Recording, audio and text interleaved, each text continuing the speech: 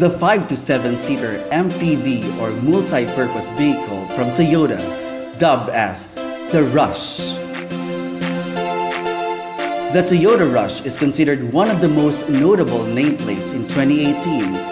The unusual body type stole the spotlight in the Philippine automotive scene due to its seating capacity, which does not sacrifice much of the ground clearance.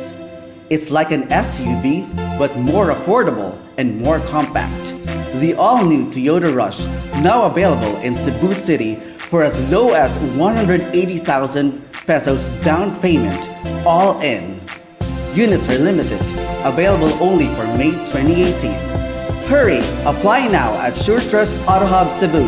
You can call or text 0945 236 4780 for Globe or 0998 612 3862 for Smart.